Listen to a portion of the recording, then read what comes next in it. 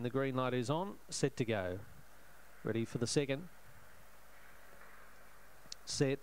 Away they go. Was beaten out a half length or so, Orson Thunder, but uh, has natural speed to shoot up on the inside and take the lead from Rio Tommy to second. They've raced by four already on Go Saints Go. Pull Dancer off the track. Further back, Chanel Miss Willing Wilmer.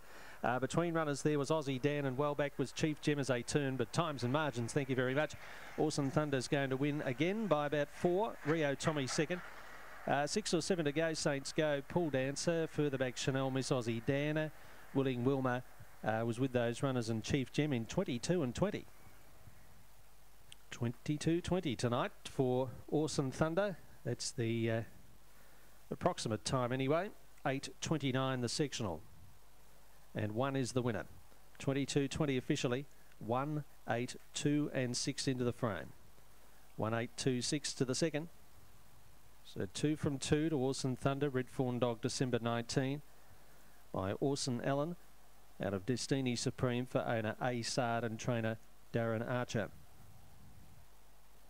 Eight second Rio Tommy, Bernardo, Zipping Tatum, Luke Adams, third into two, Go Saints Go, Marrera, Poppy, Pete, Rose.